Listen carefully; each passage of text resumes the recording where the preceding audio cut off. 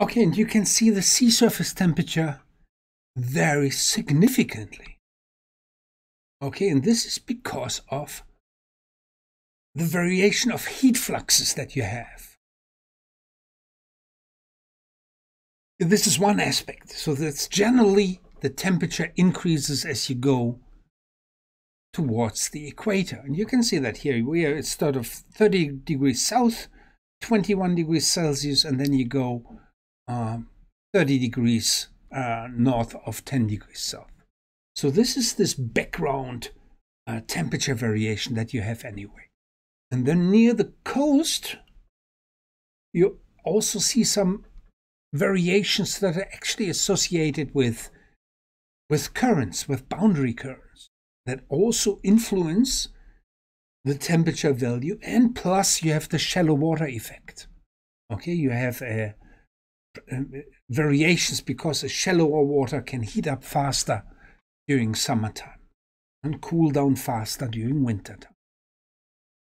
Okay, and it sort of loosely shows you the the the entire uh, um, extent of the Great Barrier Reef, and you can see definitions: northern part, central part, southern part.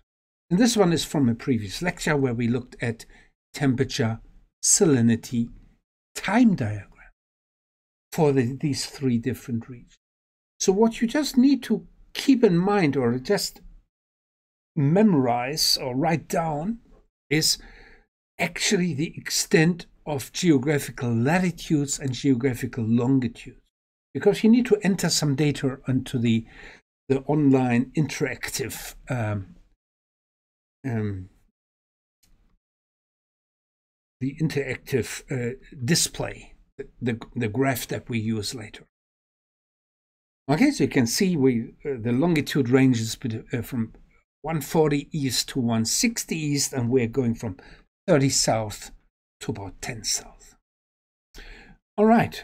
Okay, so we are looking at now the um, temperature variations that we were mostly concerned with, not salinity variations, temperature variations, and here are the temperature salinity time diagrams for the three different regions, north, center, and south regions, and what really only matters for this exercise on coral bleaching is the warmest temperature.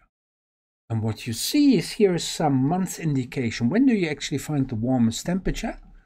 Okay, so you're looking at January and February in all regions here. January, February, March, it's already getting colder.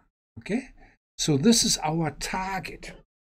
So if you look at monthly values of SST, you only need to focus on boreal summer months. That's one thing that you learn. Okay, so now you have to choose which regions. Which regions do you use?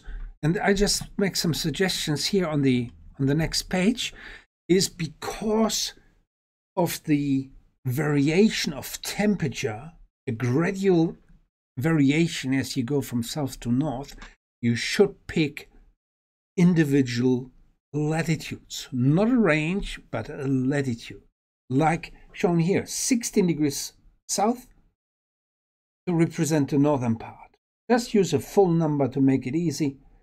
Okay, and I, you will see later on why, why that makes sense because you can more easily read off the value. We're not using any fancy uh, GIS um, or other type of, of, of software to, to extract values. We do it visually.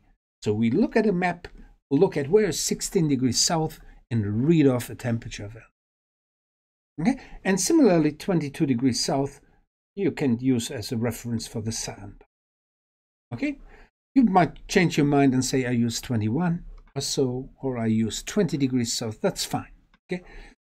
What you also should do is you should look at the temperature value near the coast, because the barrier reef is located near the coast and not offshore.